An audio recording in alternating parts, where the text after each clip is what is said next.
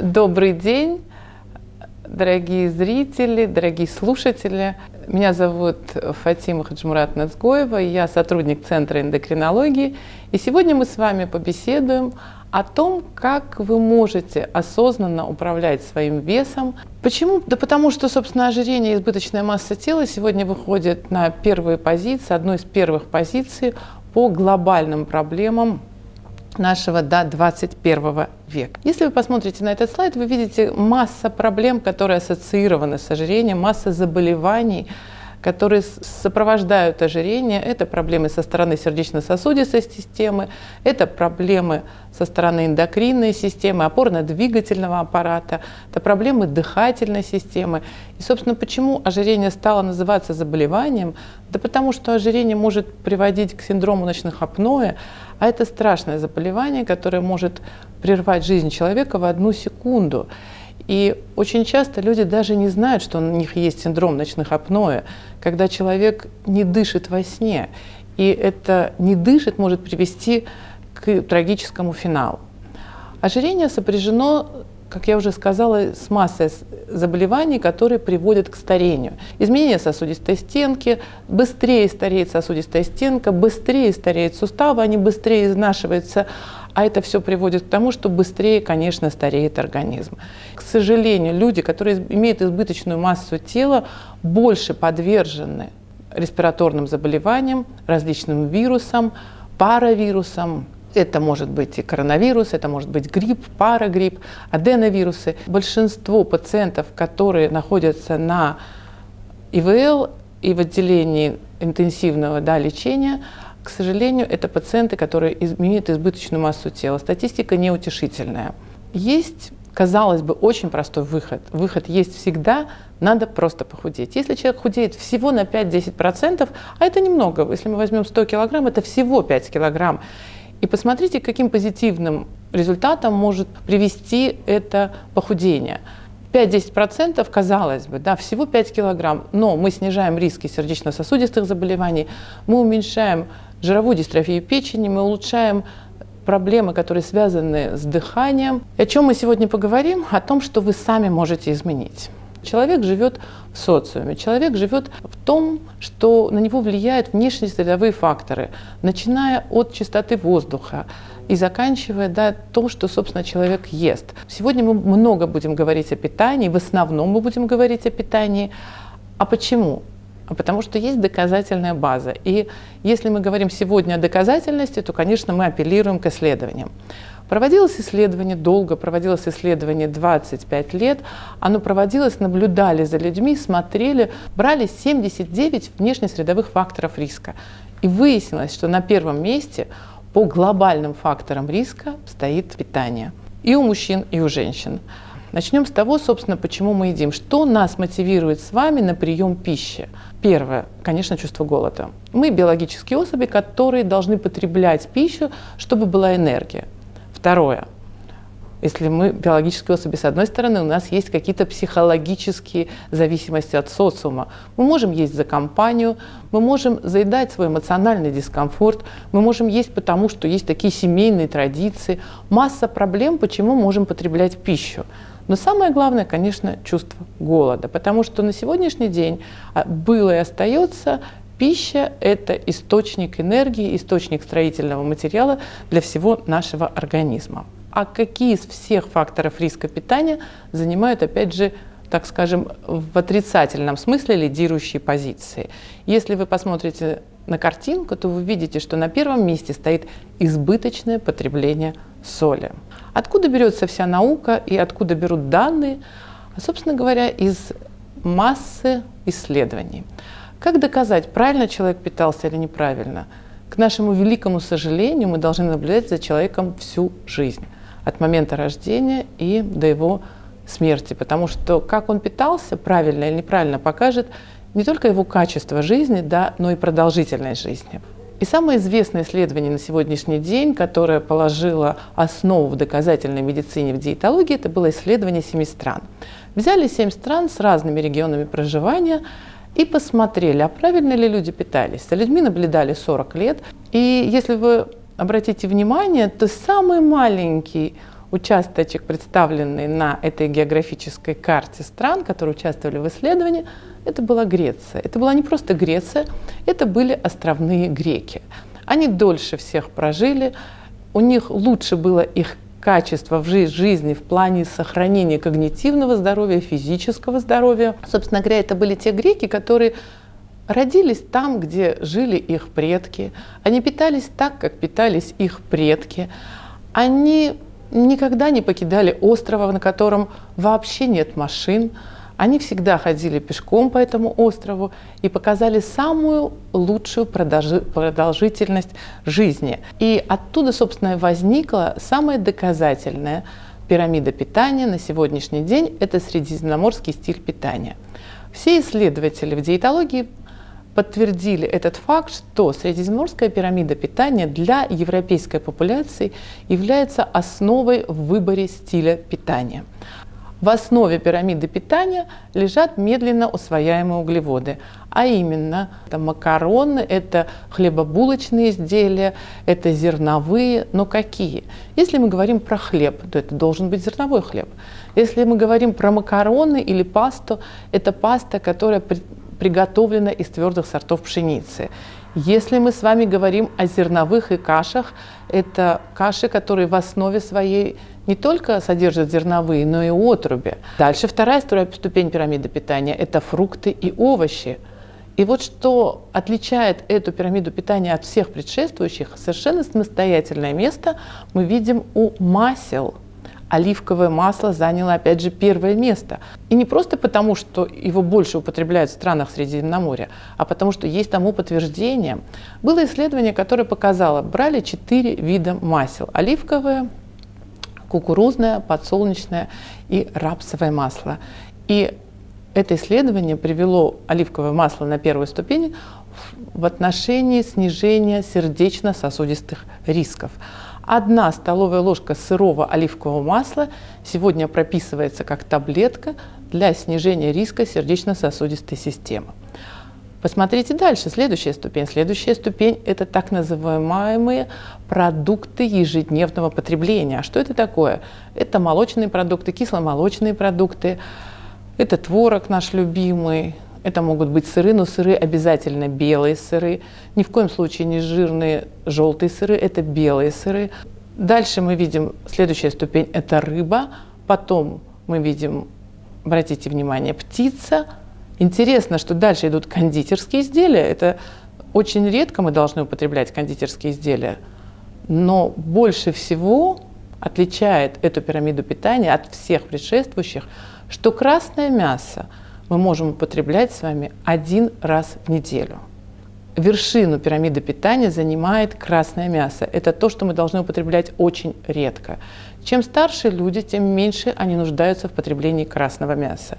Была масса исследований, которая показала, что красное мясо снижает когнитивные способности человека с возрастом. Когда я беседую с пациентами и говорю, что нужно ограничить потребление красного мяса, в ответ мне всегда возражение. А наши предки ели красного мяса много, вот наши предки ели больше мяса, чем даже мы, это абсолютная неправда. Если мы вспомним, как правда питались наши бабушки и дедушки, не ели они столько красного мяса. Более того, красное мясо было по праздникам, а красное мясо это что? Это говядина, свинина и баранина. Независимо от региона проживания, если мы с вами подумаем, мы прекрасно с вами понимаем, что это ложное утверждение, что наши предки ели много красного мяса. Если мы говорим о красном мясе, какое разрешение, как, где эта дверь разрешений, что мы можем разрешить нашим пациентам, а это способ употребления. И для того, чтобы максимальную пользу получить от красного мяса, красное мясо нужно первое замариновать. Замариновать в лимонном соке, и тогда вы имеете возможность снизить концентрацию продуктов гликирования в этом красном мясе, будет лучше переваривание. И что самое интересное, если вы посмотрите опять же на пирамиду питания, вы увидите справа употребление красного вина. Как питаются в странах Средиземноморья? Опять же, возражение, а у нас нет таких условий жизни, как в странах Средиземноморья. Но никто же не говорит, что нужно полностью кальку снимать питание. Это стиль питания. Каждый должен выработать свой стиль согласно своим корням, своим историческим корням, генетическим корням питания. Так вот, в рекомендациях по средиземноморскому стилю питания написано, что когда человек употребляет красное мясо, он должен употреблять вино. А для чего вино употреблять? Для того, чтобы лучше переварить это красное мясо, потому что тогда облегчаются процессы ферментации. И если опять же посмотреть этот правый уголок пирамиды питания, то вы увидите употребление жидкости. Обычное заблуждение – пить, не пить э, жидкость до еды, после еды, во время еды. Если мы вспомним с вами физиологию, то пища задерживается достаточное количество времени в желудке. Выпейте вы до, выпейте вы после, выпейте ли вы во время воду. Это не имеет существенного значения. Но когда человек употребляет жидкость во время пищи, приема, тем самым он усиливает вкусовое восприятие этой пищи. Поэтому, если вам нравится запивать пищу, запивайте ее. Итак, мы переходим с вами к просчету калорийности пищи, которая, собственно, давно известна, эта формула.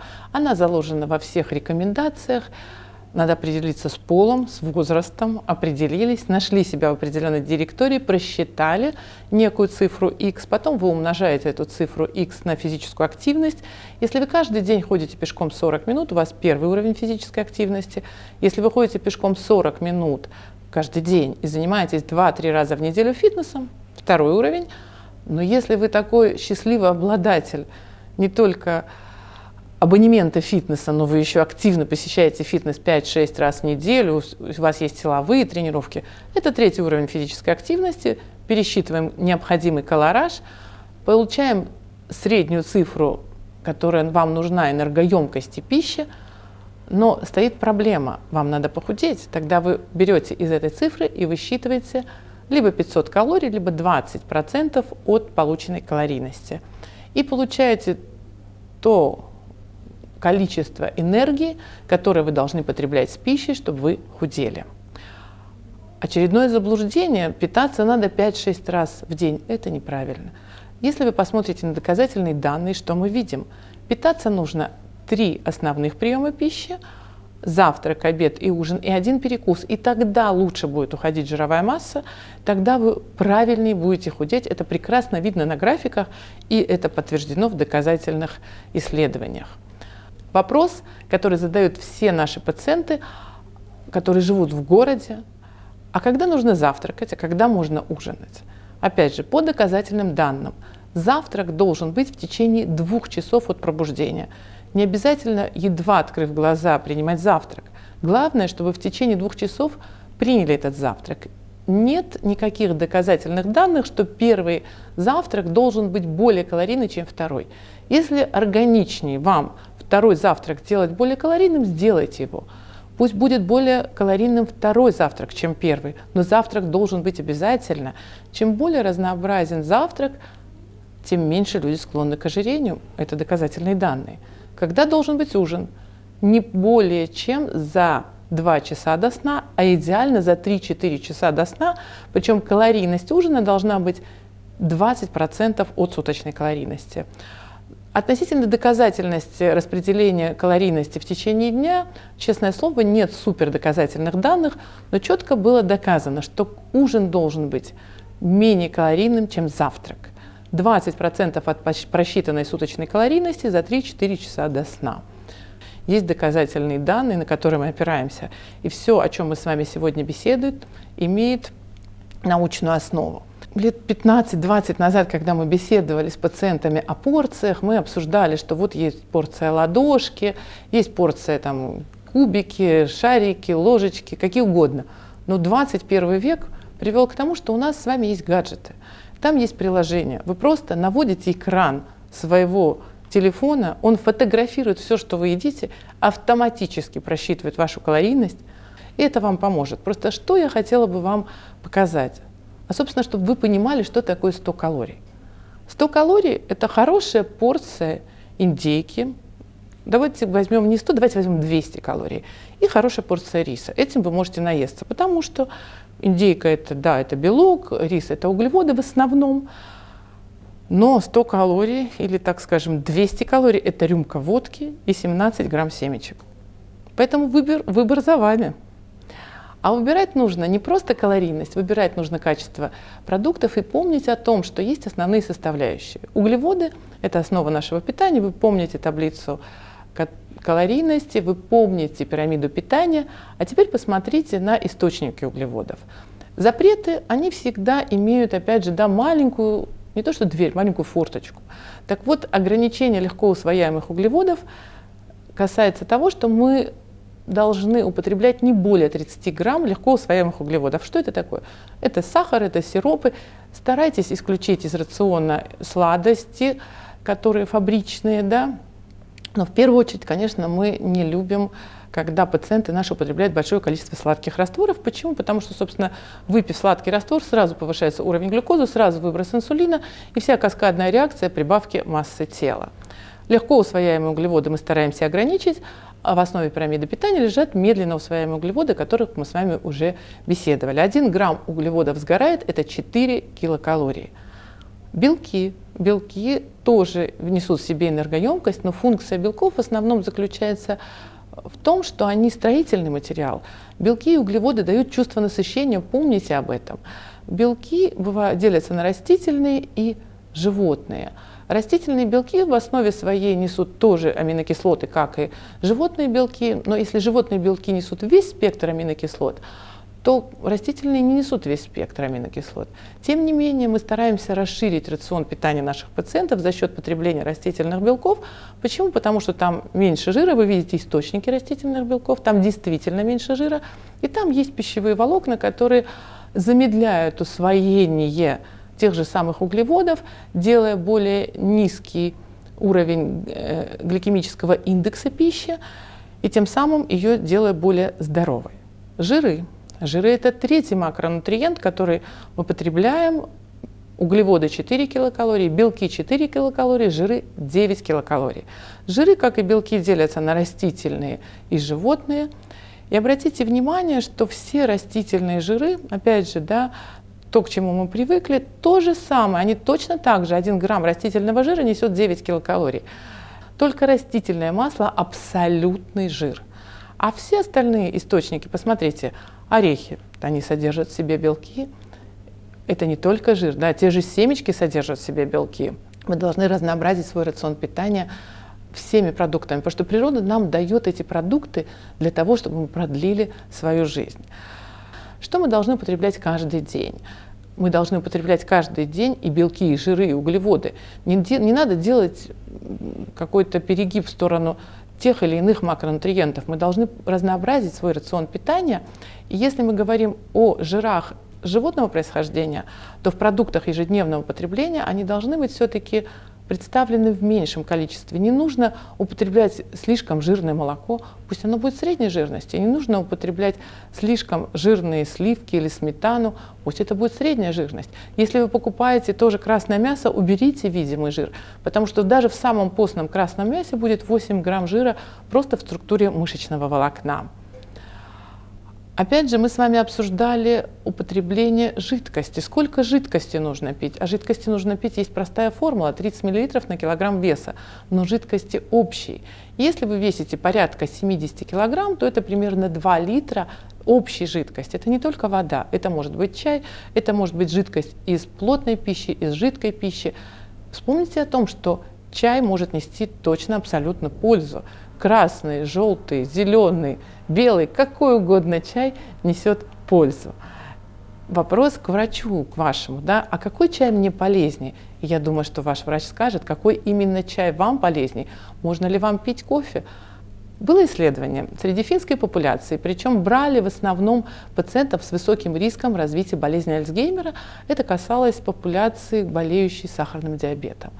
И смотрели, а как, собственно, потребление кофе влияет на продолжительность жизни и на когнитивные способности.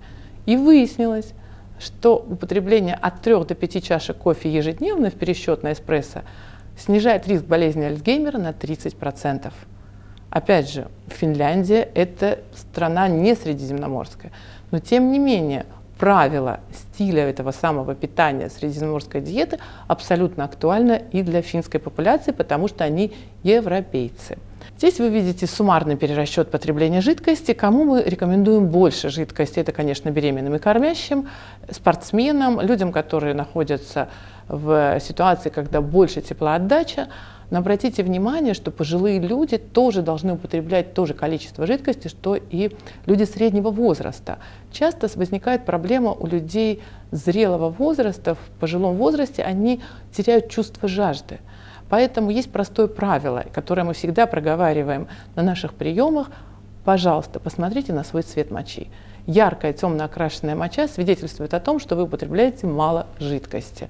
Не стесняйтесь, обговаривать это все со своими пациентами. Мы с вами проговорили о том, как мы рассчитаем калорийность. Мы более-менее понимаем, как мы должны распределить в течение дня эту калорийность.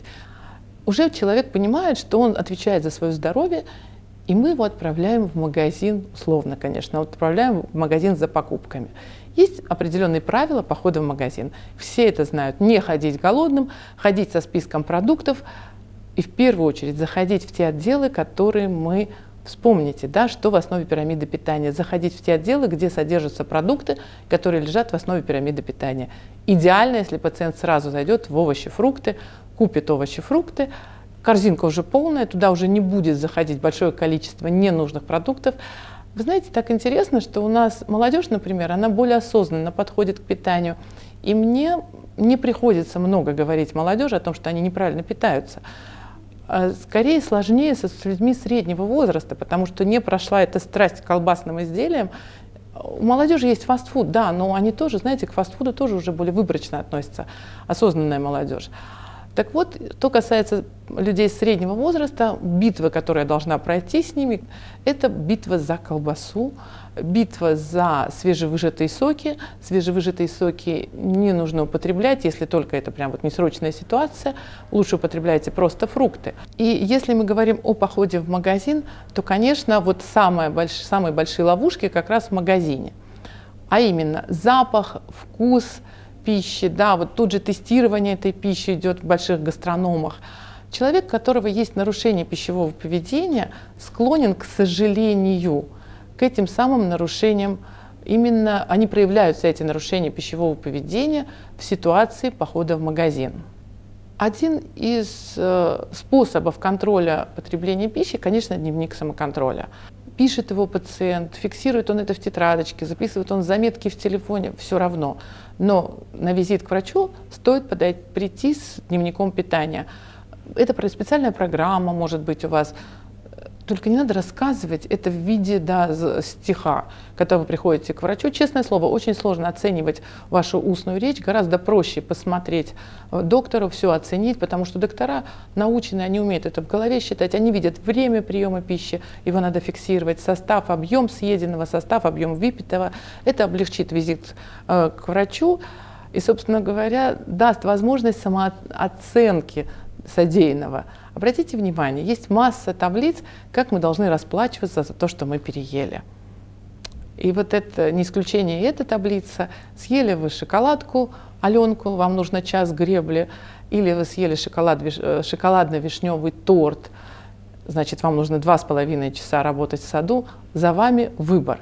Но есть еще такой простой способ, как проведение разгрузочных дней. Вот нет супердоказательности про разгрузочные дни, никакой, но есть прекрасная формула. Если ты занял у организма эти самые калории, вы по факту да, переели, вы заняли их, то вы должны потратить эти калории. Ну, это в обратной стороне от противного, да, мы говорим. Так вот, чтобы потратить, можно провести разгрузочный день.